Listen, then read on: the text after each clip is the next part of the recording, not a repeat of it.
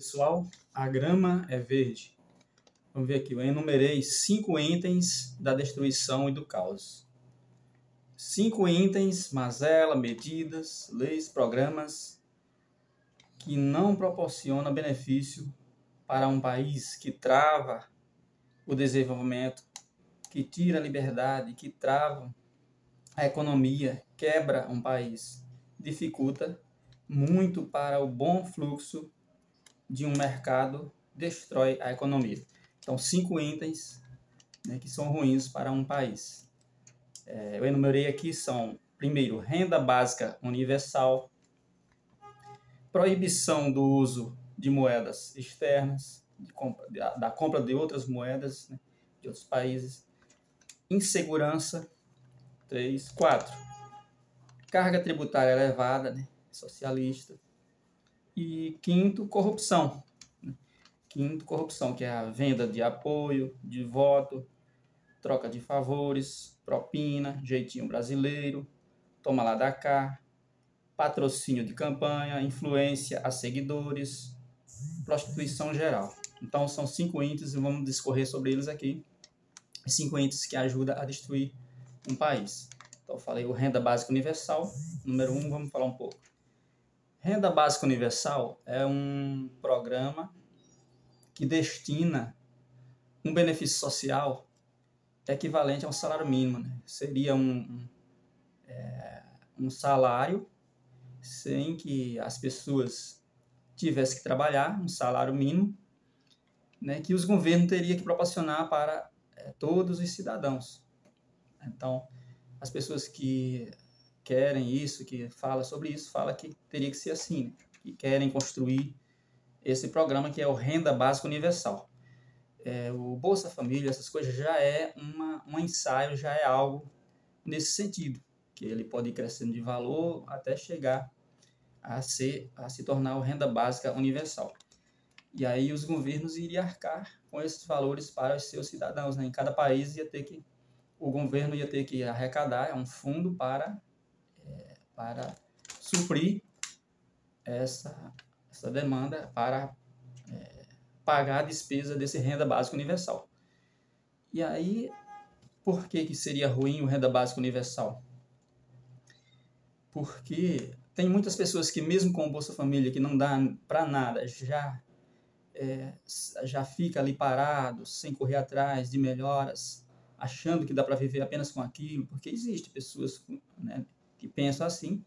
Em alguns locais, no sítio, tem pessoas muito paradas aí que diz que não adianta correr atrás de melhoria, de trabalhar, de arrumar um trabalho por conta própria, de, de crescer na vida, porque não vai encontrar. Então, é, nem se esforça, nem tenta. E aí, eles é, se sentem assegurados com essa quantia, com esse benefício social insuficiente. E aí, se o renda básica universal, que é equivalente a um salário, é, estiver sendo distribuído, eles não vão mais querer trabalhar, porque aí é, uma pessoa que vai estar trabalhando vai estar ganhando a mesma coisa que ele. Então, né? Só que diz que o renda básica universal as pessoas vão receber de todo jeito, ou trabalhando ou não, o governo vai arcar com isso. E aí quem quiser ganhar mais passa a trabalhar e complementar esse valor. Só que aí é, a gente pensa que é algo bom, mas vai dificultar nesse, nesse sentido aí, além, além dos, de dificultar, né, de de estimular ainda mais os preguiçosos, vamos falar logo a, a real, é, além de estimular os preguiçosos, vai, é, vai gerar uma despesa para o governo e a intenção real de quem quer promover o renda básica universal, eu creio que é para controle, eu creio que é governos que querem controlar a população. E aí, no início, eles dão esse salário gratuitamente, sem exigir nada, mas depois essas pessoas se tornam aqui como escravo desses governos, desses regimes, onde elas vão ter que seguir todo um regulamento, e se elas não fizer isso, não fizer aquilo, não, não seguir à risca tudo aquilo que é que está é, que foi pré-estabelecido ali, eles não vão receber, e aí é, eles vão reclamar depois, mas já é tarde, né? eles já estão inseridos no renda básica universal. Então eu creio que não seria bom não, porque é, é uma forma de é, as pessoas já com Bolsa Família, muitos deles não, não vou procurar emprego não, porque senão eu perco o Bolsa Família. Tinha uns, na época em que podia perder o Bolsa Família, eles falavam isso. Eles têm medo de perder, já que o contrato dele a, a cada dois anos tem que renovar, né? Então, o Renda Básica Universal iria ajudar a essas pessoas é, que socialistas, né, que acham que, que o governo consegue sustentar todas as pessoas, que o governo pode promover, gerar riquezas e sustentação que o governo pode imprimir dinheiro e, e, distribuir na mão deles. Tem pessoas que pensam isso. Então, que não entendem que a, a riqueza, o dinheiro tem que ser lastreado né, no, nos bancos centrais e, e, controlado e baseado em um trabalho, em uma riqueza, em um produto. Né? Então, eu creio que o renda básica universal não seria bom, não. É, dois, proibição do uso de moeda externa. Quando um país, para proteger a sua moeda, ele proíbe as pessoas de, por exemplo, um país como a Argentina, se as pessoas vê que a economia está mal, eles acabam vendendo ali suas, é, suas propriedades, vendendo ali é, seu patrimônio, algo que ele tem ali, algum recurso, alguma, algo que representa alguma riqueza, né, que é de sua propriedade, eles acabam transformando em dólar e comprando dólar. Por quê? Porque o dólar eles acham que é seguro, porque o dólar no início foi baseado no ouro, né? Então o dólar, eles creem que é uma moeda que não caiu nunca. Então eles acabam comprando moeda externa. Então, se um governo, vendo isso, vendo que as pessoas estão fugindo de, de negociar com a moeda local para valorizar a sua moeda local, está comprando outra moeda externa e esses governos é, lançam uma lei ali provisória para bloqueando o, o, uso, proibindo, né, através dos bancos central, através de algum meio, proibindo esse cidadão de, de comprar outras moedas, de, de utilizar outras moedas, ele vai estar tá tirando a liberdade que as pessoas têm, que é justamente essa liberdade de poder negociar com uma pessoa, com outro, com um país, com outro, qualquer lugar do mundo, que faz as pessoas é, ter bom êxito nos negócios e crescer, né? A gente sabe que na época das grandes navegações, era a liberdade que aqueles países tinham, os grandes navegadores, que levavam a carga de especiaria de um lugar para outro, que comprava aqui, vendia ali, saía cruzando os mares, que enriqueceu, que foi a, as primeiras riquezas geradas, o primeiro é, PIB né, que as pessoas tiveram ali, aqueles grupos, as primeiras riquezas que eles conseguiram juntar, a economia, foi através do comércio. Então, era o capitalismo comercial, onde tudo iniciou. E aí, esse capitalismo comercial é, induziu, fomentou o capitalismo industrial. Depois as pessoas passaram a industrializar mais ainda para vender mais mercadorias, porque sabia que a venda de mercadoria dava muito dinheiro. E até hoje o comércio é quem mais enriquece pessoas, países, programas, é, empresas. Né? Então, ainda é o comércio.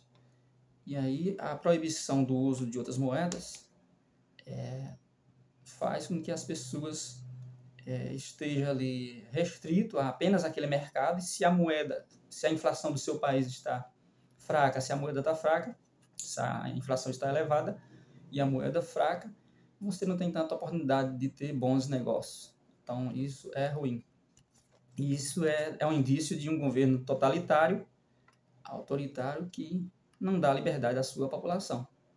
E uh, isso afasta qualquer investidor interno ou externo de investir naquele país. Então, não é bom. Três, insegurança. Se o governo é, ou promove através de algum, permitindo algumas leis, ou permitindo que haja segurança, não combatendo a, a criminalidade, não combatendo.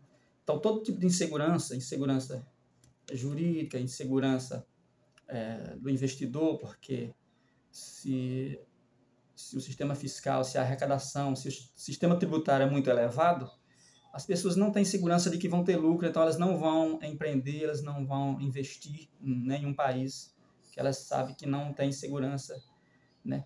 que a população não tem, não tem, não está aquecida, a, a população consumidora não tem é, o poder aquisitivo para adquirir aqueles produtos, então ela não vai investir porque a, a população está desempregada. Então, ela, é, se ela vê a insegurança ali, essa insegurança afugenta o potencial investidor. Né?